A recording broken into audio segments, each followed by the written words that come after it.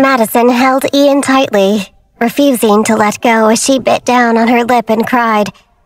They only got a few seconds together, however, before a group of people rushed into the room wearing white coats. Leona stood at the back of the group, looking at them coldly. She was followed closely by Olivia. Get him out of here immediately, she told them, and they went to tear them away from each other. It was as if they were never to meet again. Madison held onto Ian with all of her might, ignoring the sharp pain running through her injured arm. He clung onto her just as ferociously. But even with their combined efforts, they couldn't resist the strength of a dozen professional caregivers fighting against them. In seconds, only their hands remained touching, and she called out for him through her emotional turmoil. He grabbed her palms in his, not afraid of hurting her anymore.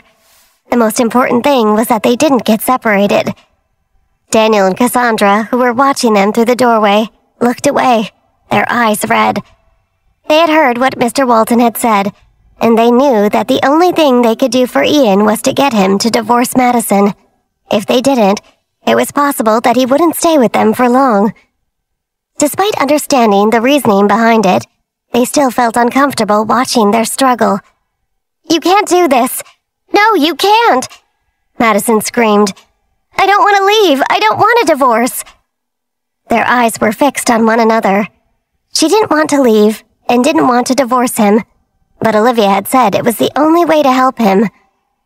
In the end, the caregivers managed to separate them, and Ian was forcefully escorted out of the room. All decision making had been handed over to Olivia, and there was nothing he could do. One of the nurses had accidentally pushed Madison onto the bed. When she managed to sit up, Ian had already disappeared, and soon no one else remained but her. The place became empty and bleak. She lay on the bed crying and depleted. When the door finally opened again, she only listened to the steps absent-mindedly, because she knew that the person coming to see her wasn't Ian. Zach had been driving when he received Daniel's call. Sam had been with him, but when he heard the sound of Madison's desperate cries over the phone, he had gotten so scared that he had almost crashed the car. They quickly turned the vehicle around and rushed over to see his sister. The moment he stepped into the bedroom, his eyes fell on the messy scene before him. Behind him, Sam covered her mouth in shock.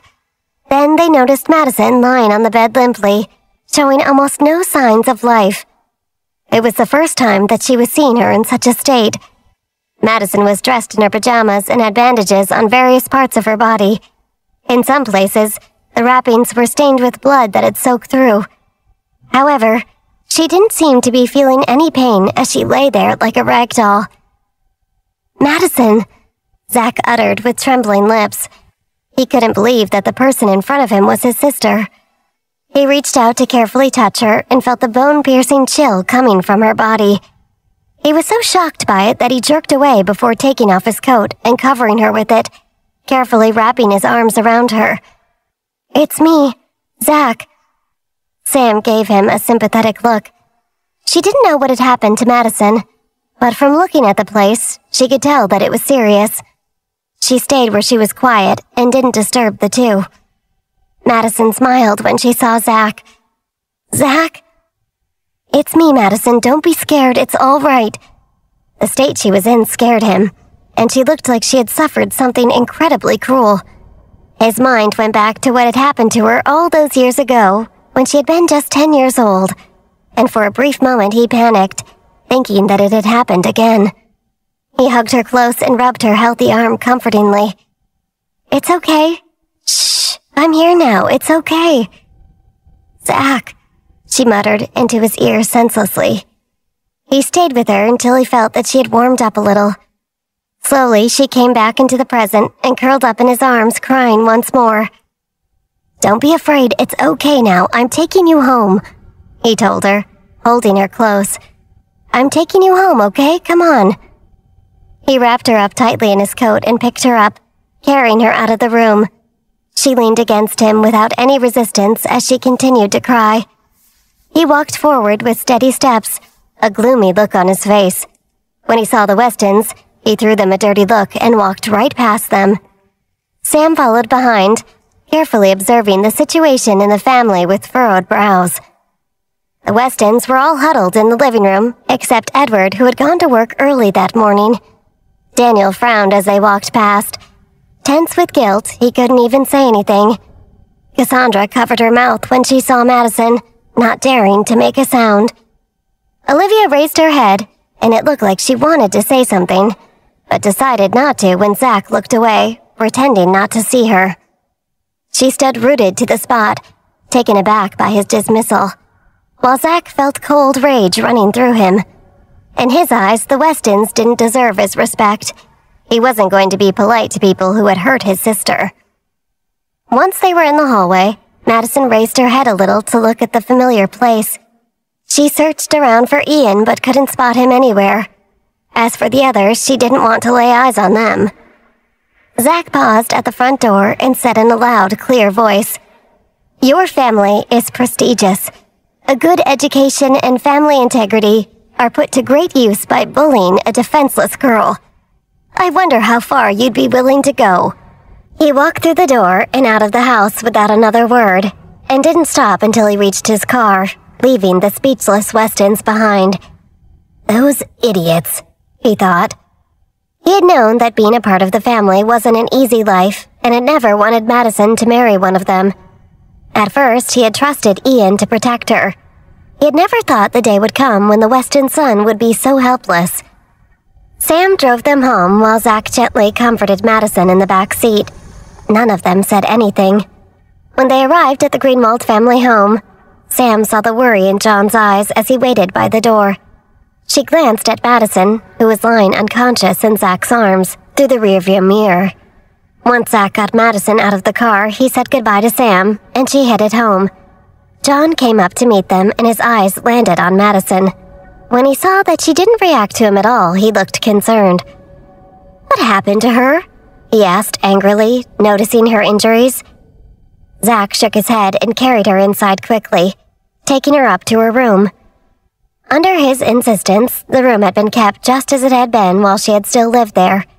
Even after Kate had joined the family, nothing had changed. John followed close behind them. He saw Madison lying on the bed, curled up and unconscious, and felt a pain in his heart. Perhaps familial love had gained value to him since he had lost his daughter and granddaughter. He had even forgiven Kate for all her mistakes, and he had also begun to treat his children better. It was like he was a completely different person. He reached out and gently touched Madison's foot, and she shrank back a little. He could feel fury building up inside him, along with a deep sadness for his adoptive daughter. That little bastard. Does he think he can hurt my daughter? He thought. When Stella saw what was going on, she quickly went to fetch a bowl of hot water and a medical kit. Zack took Madison into his arms and began treating her wounds carefully, while John watched from his side with his hands behind his back. Zack had limited experience treating such wounds, and Stella couldn't stand watching him do a mediocre job. She went up to the bed, took the kit from him, and began gently treating Madison herself.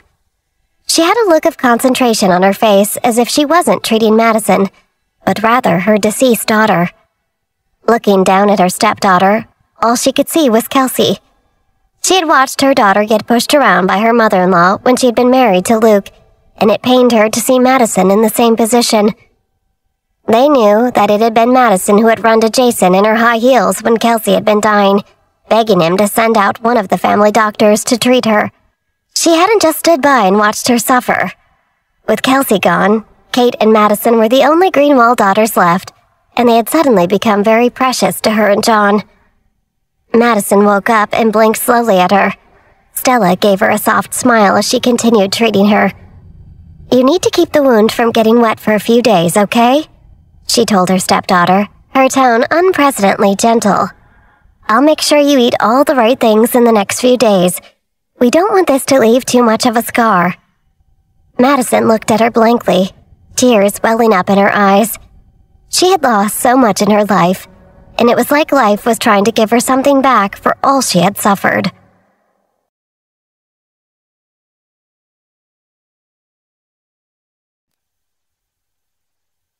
After coming out of Madison's bedroom, John and Stella both looked at Zack, and they all went over into the living room.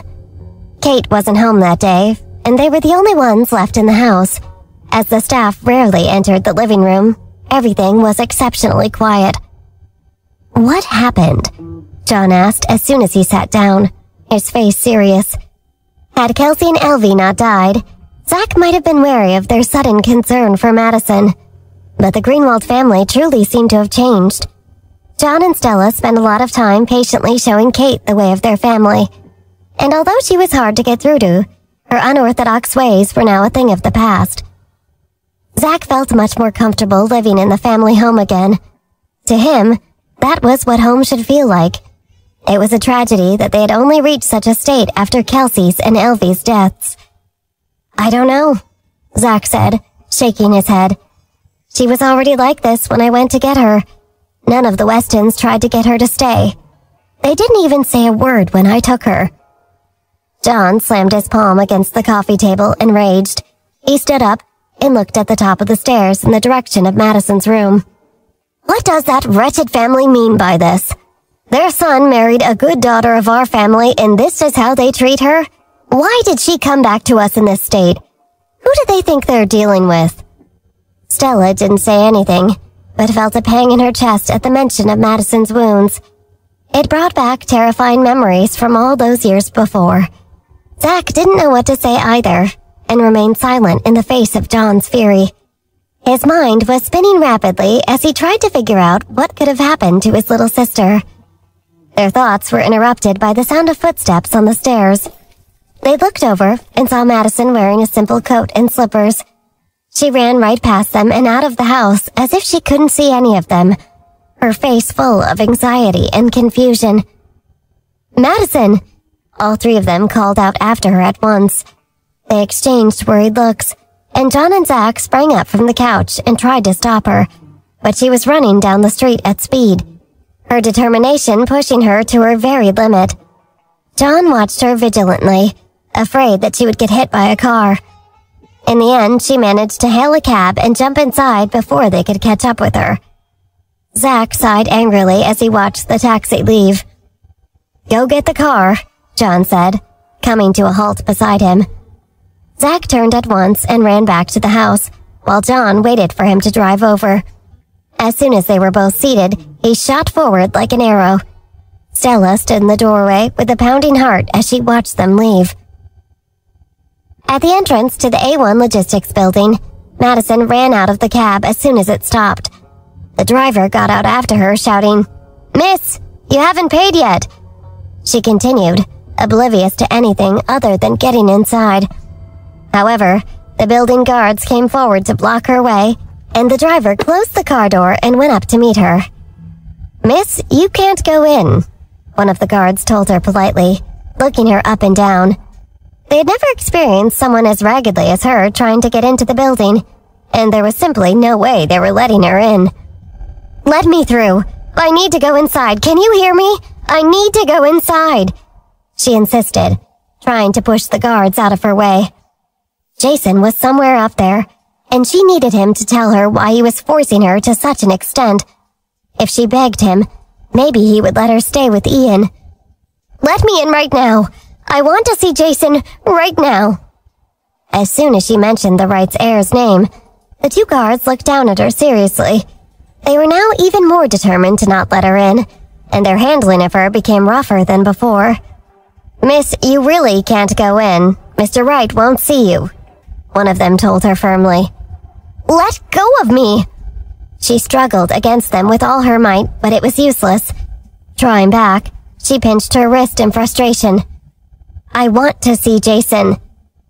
You must have come straight from the mental hospital, the driver said snarkily. You think the Wright family heir will see you like this? If I'd known you were crazy, I would have never picked you up. What did you say? An angry voice roared from behind them. Zack's car had stopped by the taxi, and the Greenwald men had gotten out in time to hear the driver's mocking words. John's face was red with anger, and he strode over to them with forceful steps. Who are you calling crazy? He turned to the two guards, who recognized him due to the collaboration between the two families. When they realized it was him, they grew unsure of their position. And you two! How dare you treat my daughter like this? The guards stared at him in surprise and quickly let go of Madison's hand. They couldn't believe she was a Greenwald. Everyone at the company knew that Jason had feelings for John Greenwald's daughter, and although he had too, it probably wasn't a good idea to offend either of them. Taking advantage of John's interruption, Madison sped past the guards and through the building entrance. John gave them a threatening look and chased after her, while Zach paid for the taxi and followed closely behind. The guard stayed at the entrance, looking confused. When the receptionist in the lobby saw Madison rushing through, she stood up to try and stop her. As soon as she saw her face, however, she halted, even reaching out to stop her colleague from interfering. What's wrong? he asked. They could throw us out for letting her through. They'll throw you out if you try to stop her, she replied. That's Madison Greenwald. Right then, Zach and John ran through the lobby, and she picked up her phone to make a call. If she didn't inform Jason that the Greenwalds were going up to see him, she'd be in great trouble. The elevator doors opened, and Madison slipped inside, frantically pushing the button to Jason's floor. She managed to evade her brother and father. The two men could only watch the doors close before them and wait for the next elevator to arrive. At that moment, Jason's assistant had already received a word of their presence in the building, and the situation was becoming increasingly chaotic. People were running around, preparing the place for Madison's visit. Did you inform Mr. Wright? Is the juice ready? Where's the fruit? The snacks? What about the magazines? Get a move on, we don't want to make her angry. The assistant waited by the door to the conference room while the staff prepared everything from coffee to snacks wondering if she should go inside and interrupt Jason's high-level meeting to let him know about what was happening. Making up her mind, she knocked on the door and entered. Walking over to her boss's side, she leaned in and whispered, Mr. Wright, Miss Madison Greenwald is here. He stood up from his seat abruptly with undisguised joy. Meeting adjourned, he said before leaving the room, catching them all unprepared. Once outside, he let out a great sigh of relief looking like a missing part of him had been restored. Madison stood in the corner of the elevator with a group of people before her, but it was like she couldn't see their curious glances. She knew Jason's floor from before, and her mind was set on a singular goal. The others in the elevator also knew where Jason worked, and they were interested to find out who was going to see him. Not everyone was allowed onto that level after all. The elevator stopped and Madison went up to the doors. Jason stood on the other side and their eyes met. She looked at him, but didn't say anything, while all the others greeted him respectfully. He looked at them absent-mindedly, his eyes full of excitement and joy. They were shocked by the strange display and had no idea what was going on.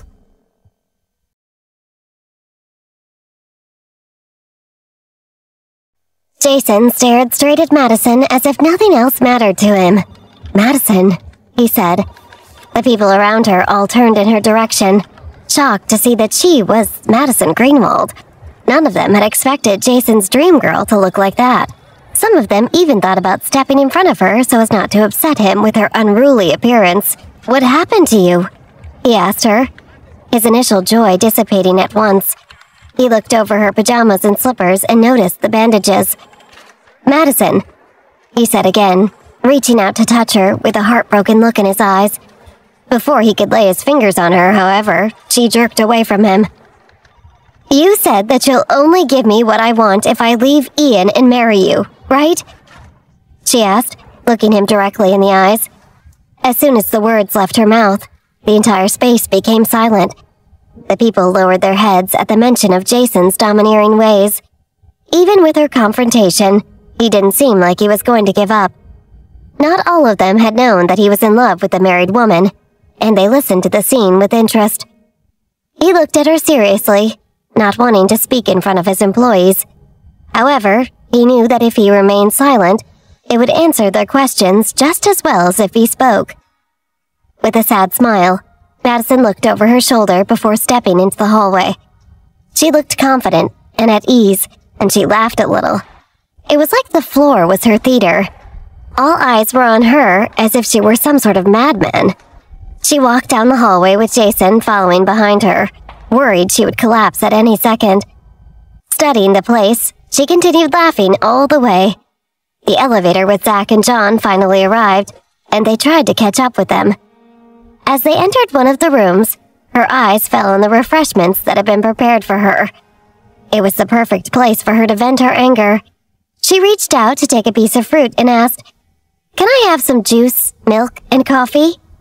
As she spoke, she picked up a glass of milk and slowly poured its contents onto the ground. The staff frowned at her arrogance and looked over to see Jason's reaction. They all knew how much he hated wet floors.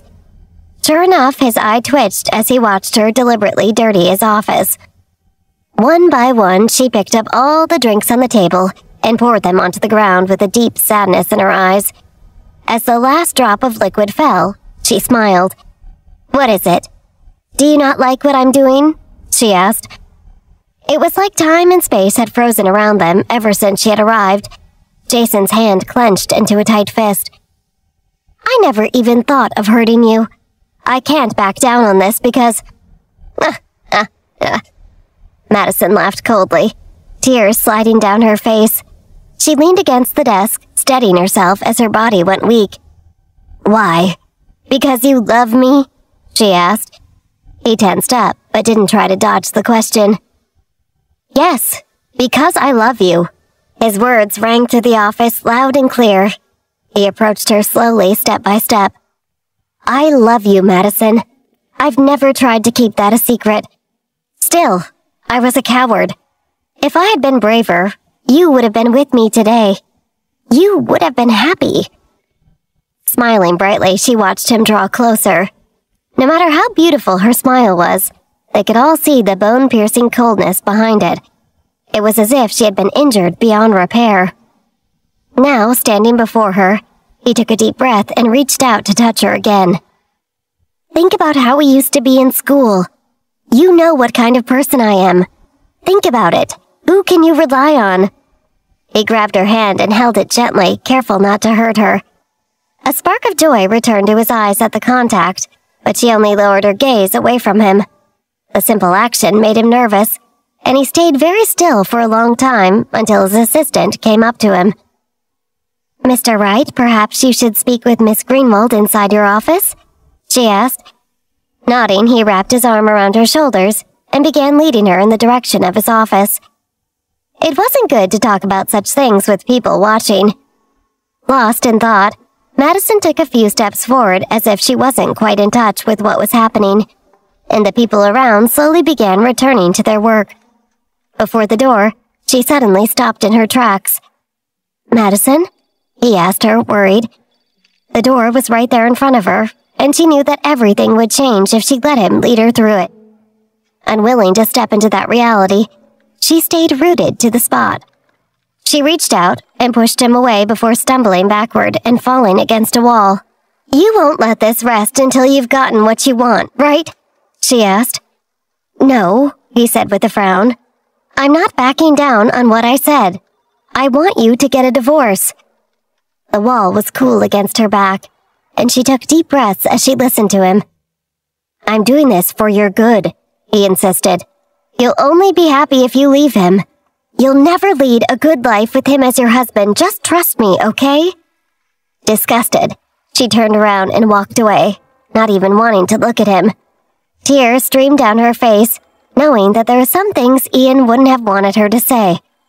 It seemed that she would always be facing the cruelest hardships when it came to love. He took a deep breath, watching her walk away. With a step forward, he caught her wrist and pulled her back toward him until her ear was next to his lips. If you divorce him, I promise I'll immediately give the Westons what they want, he whispered. I can even use all of my family's resources and connections to help him, all right? I'm begging you, divorce him. He wrapped his arms around her and hugged her tightly, but she couldn't even feel his touch. She just stood there, crying numbly as she recalled the warmth of Ian's embrace, his face, and his comforting smell earlier that day. She wondered why she had lost all that in the span of just a few hours. Why do they think I can't be happy with him just because he's ill? How can they know what makes me happy? She thought miserably. Everyone watched him hug her while she cried. No one dared even breathe too loudly. Madison! Madison! He kept whispering into her ear, his grip on her tightening. Divorce him, please. He can't make you happy. He'll only become more and more dangerous if you stay with him. Just divorce him, please, and try to accept me. He could somehow stand her not loving him, but not her staying with Ian. If she divorced him, he would give him all the doctors he needed. While they stood there, the assistant began asking the staff to leave until only a few familiar people were left. Madison smiled through her tears. After hearing their conversation, Zach and John understood why.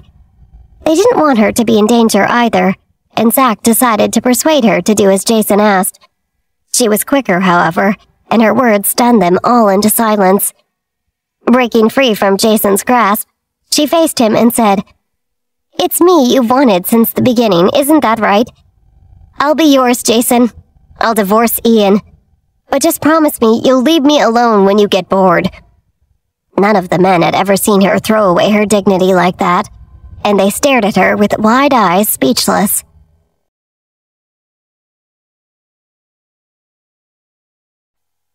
Jason's face paled.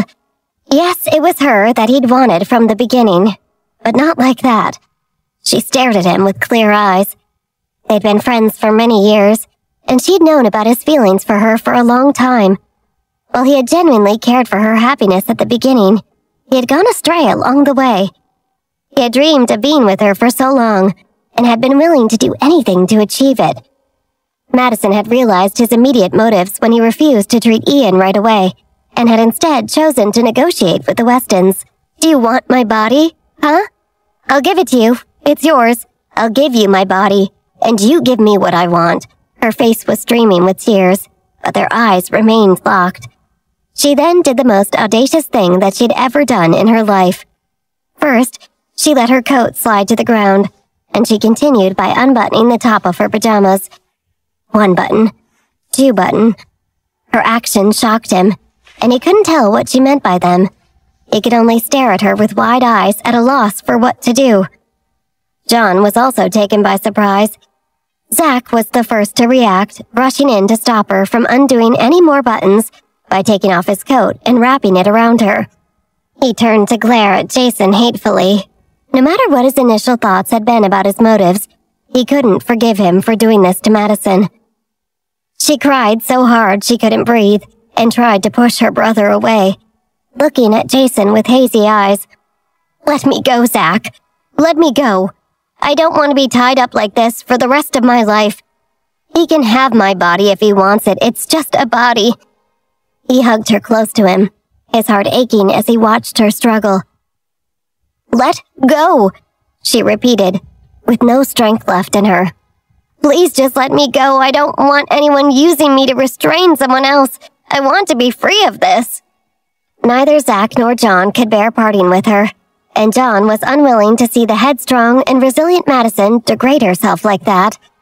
He pushed down the pain in his heart and took her face in his hand, slapping her cheek with the other to bring her into the present. Jason leaped forward, afraid that John would hurt her. Are you okay? He asked her worriedly. Dad, Zach said angrily, but John didn't pay either of them any attention. Get yourself together and remember who you are, he said, looking directly at his daughter. Don't forget that your name is still Weston. You haven't divorced yet. It was the first time he was scolding her with actual interest in her well-being. Even that small show of fatherly love was like a beacon of hope for her at that moment. You're not a girl anymore, Madison. You're a mother. Think of Sophia. How can you just give up so easily? Have you thought of how this will affect her in the future? How can you be so irresponsible? He roared at her. Think about what's ahead of you. You've already come this far. There's always some kind of solution. Think. She stared at him dumbfounded before throwing herself into his arms. Dad, she said through pain sobbing, hugging him close. It had been years since she had called him that even though they weren't related by blood, and even though they had never had a particularly good relationship, he was beginning to see her as his daughter. He felt his eyes prickling. There had been a period during her childhood when he had liked her, when he had happily held her and played with her. However, once his sons and daughters had entered the family, a distance gradually formed between the two of them. Zack watched them with moist eyes, and he stopped Jason as he tried to get close to Madison. Don't go near her, he told him. Otherwise, my sister may lose control again. Sorry for the trouble. With that, he turned around to comfort his father, and together they led Madison over to the elevator. They left without looking back, leaving Jason standing in the hallway with just his assistant, looking lonely and miserable. Before the elevator doors could close behind the Greenwald, Jason ran over, John pretending not to see him. But Jason managed to plunge his hand between the doors, activating the sensor and opening them once more. Zach narrowed his eyes dangerously at the man, and Madison didn't even turn to look at him. Jason gripped Madison and turned her around, and for the first time in ages, she saw pure love in his eyes. Take good care of yourself, he told her. However, the conditions he had set remained. He stepped back and the doors closed. With almost no strength left in him, he walked back to his office and took off his tie in defeat. He threw it on the ground and stomped on it angrily. Madison, if I let all of this go, will you ever even want to see me again? He shouted out in his mind. He began thinking of the possible future. If she divorced, and Ian was healed one day due to his help, perhaps she would come to love him and stay by his side instead. His mind raced, caught in a whirlpool of obsession. When Stella saw Madison state upon arriving back at the Greenwald house, she quickly called for the staff to change her bandages and put her to bed while she went to make her some soup. Meanwhile, Zach and John retreated to the study. Madison slept for what seemed like a century and woke up hurting all over. The sky outside had already turned black, and she lay motionless on the bed, looking at the familiar bed sheets. Everything inside the room reminded her of the past, and she buried her face into her pillow as she cried once again. Her body twitched in pain as she thought of her husband. Ian, will I ever get to see you again? She thought. There came a knock on the door, and Stella came in carrying a tray of food. Your brother asked his friend to pack up things at the Weston house.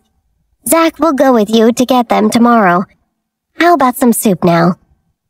Comforted by Stella's kind and caring words, she got up and thought about seeing the Westons the next day. As she slowly ate, Stella reminded her to mind her wounds over the next few days. Stella left soon after, and Madison's eyes fell on a bag that she had brought in with her. Inside was a divorce agreement she hadn't expected to have to take it out so soon, and she put the bag away. She'd asked Zach to take her to the Westons the next day, but when she went to the door to find him, she saw John and Stella running into each other in the hallway. How is she? John asked. She ate something, but not much, Stella replied. Both of them sounded very concerned about her. The Westons have forbidden her from coming close. No one's even allowed to mention her name in the house, should we tell her? The words hit Madison like a bucket of cold water.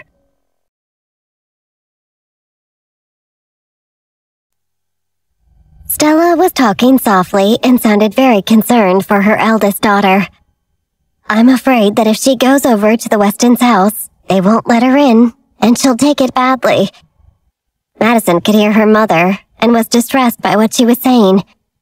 The Westons are going to cut me off completely she thought as she leaned against the wall for support. Don't talk to her about it for the time being because she's already quite upset, John said, sounding very tired. He had aged a lot during the time he had been in prison, and also faced the death of his granddaughter, which further weakened him. But he had gained a lot of wisdom through his experiences. I'll make more of an effort with her, he continued. What she's going through isn't easy for her. When Madison heard her father say that, she almost burst into tears, and she quietly closed the door and sat down. When she was sure that no one could hear her, she began to sob. The sobbing wasn't for herself, but for Ian. She was worried about him, and was concerned that he was finding it difficult to cope without her. Madison knew that the Westons were trying their best to cast her out of the family and forget about her, but she believed that they couldn't eliminate her because of Ian. They want to airbrush me out of their family history, but Ian won't let them do that, she thought. She didn't care if the other Westons forgot about her, as long as Ian remembered her. Furthermore, she knew that no matter how unwilling they were to get involved with her, they would still come looking for her because the divorce papers needed her signature. That night was one of the few that Madison hadn't slept peacefully in Ian's arms since she had returned after her five-year absence. She was so unaccustomed to it that she was haunted by nightmares all night long. The next day, Madison woke up very early. As soon as she had washed and dressed, she went downstairs to prepare breakfast. No matter what she had heard that previous night, she still wanted to go to the Weston's house and find out for herself whether she would be allowed in. She planned to get Zach to take her there. When breakfast was ready, the whole of the Greenwald family gathered at the table to eat. Kate had returned late the previous evening, and Madison had already fallen asleep by the time she had arrived so the two of them hadn't spoken to each other. Relations between Kate and Madison had been strained for a long time, which meant that the atmosphere at the table was tense. Kate refrained from being unpleasant to her sister because John was there, and she ate in silence. Madison didn't care about Kate's attitude. She was far more concerned about her problems with the Westons, so she ignored Kate and spoke to Zach. I'll go with you to the Westons' house later, there are some things that I want to bring back, she said. Zach stopped eating for a moment and tried to sound casual as he replied to her. If there's something you need to get, I'll pick it up for you. You should stay here until your feet are healed and let Mom look after you. You didn't need to make breakfast this morning. Mom could have done it. That's right, Stella said as she poured another cup of coffee for Madison. Those wounds on your feet are nasty. If you're not careful, you could end up with permanent damage. You should stay here and recuperate for a few days. If you need anything from the Weston's place, let Zach go and get it for you. If he can't get it, you can buy it again. Madison insisted on going because she was determined to see whether she would be given access to Ian. Thanks, Mom, but I still want to go there myself. There are some things that Zach might not be able to find. I'll go up and change my clothes before we go. Wait for me, Zach. After saying that, she didn't give anyone a chance to speak before she went upstairs. Although she could only walk slowly, she was still capable of getting around. She suspected that Zach and Stella had been making a fuss about her injury because they didn't want her to visit the Westons. After Madison left the room, Zach and John frowned, while Stella gave them an anxious look. After Kelsey had died, Stella had begun to love Madison more than Kate because she felt that Madison cared far more about Kelsey than Kate ever had. As well as that, she didn't like the way that Kate was only interested in money. What should we do? She'll be distraught if she's turned away from there, Stella said nervously. John didn't have any ideas about what to do and he shook his head. Zach, however, had some suggestions. Why don't I just leave without her? Or else I could say that I have something to do today so I can't go. Kate stood up, looked at her brother, and smiled. I can tell you for sure that she's determined to go there. If you leave without her, she'll just call a taxi and follow you over there. And if you say that you have something to do, she'll go there without you. You need to go with her because it'll be worse for her to face it on her own. Since when did you care about her feelings? Zach asked. I don't. She can walk over there on her bandaged feet for all I care. I'm just stating the obvious, Kate replied. The others couldn't disagree with Kate's assessment of Madison's likely behavior. They all knew that she was very stubborn. Kate left the dining room and bumped into Madison in the upstairs corridor. She blocked Madison's way so that she could speak to her. It's been a long time since we last met, she said. Kate was standing very close to Madison and looked closely at her face. I can see that living with such a rich family has done you good. Your skin is in very good condition. I suppose you can afford to buy the most expensive skincare products and spend days at the spa. She looked and sounded resentful that Madison had improved her status. Unfortunately, it looks like those days are over for you, she continued. The Westons don't want you anymore. Yet you still want to go back. It's so sad. Poor Madison, she said in a mocking tone. As she spoke, she reached for a wisp of hair that was lying beside Madison's ear. There's something about you that I don't understand. Why are there so many men who like you? You always seem to get a lot more male attention than I do. After saying that, she yanked Madison's hair. It was so painful that Madison's face turned pale, and she grabbed Kate's hand, trying to force her to let go. Kate looked at her jealously. You need to remember that this isn't your home, she said. You turned your back on us before, so why are you even here? Even if the Westons turn you away, don't come back. You don't have any right to stay here. She let go of Madison's hair, and Madison looked at her without showing any emotion. Kate was slightly surprised that she wasn't either angry or scared. You'd better leave here soon, otherwise I'll be less friendly the next time we meet, Kate threatened. Then she hit Madison with her shoulder as she walked past her. Kate felt threatened by Madison's presence in the house. After Kelsey had died, Kate's position in the family had become stronger. While Madison had been with Ian, she had effectively been the only daughter in the family, and she wasn't prepared to let Madison take her status away. When Madison went back downstairs, she stopped thinking about Kate's mourning. At that moment, all she cared about was Ian. Come on, Zach, let's go, she said as soon as she walked into the dining room. Zach was still sitting at the table and swallowed hard when Madison spoke to him. He tried to think of a way out, but there was nothing he could do. Before he could stand up, the doorbell rang. John opened the door and invited in a man who was wearing a suit and carrying a briefcase.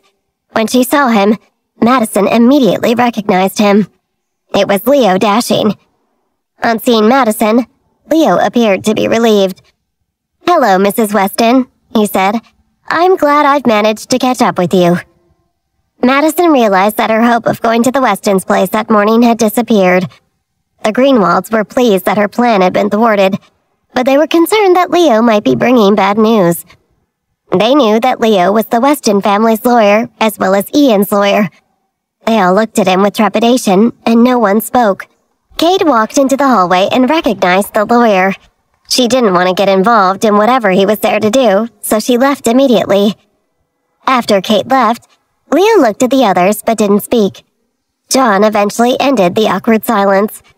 Mr. Dashing, please follow me to the study so that you can speak privately, he said. Leo smiled and nodded politely before following John to the study, but Madison didn't move. Instead, she spoke to Zach. Let's get out of here. I don't want to speak to Leo, she said. She didn't want to speak to him because she suspected that he was there to talk about her divorce. Leo overheard her and he turned around. Mrs. Weston, Mr. Weston asked me to see you. He made his request a month ago. Madison's body stiffened. If Ian instructed him a month ago, what does that mean? She wondered.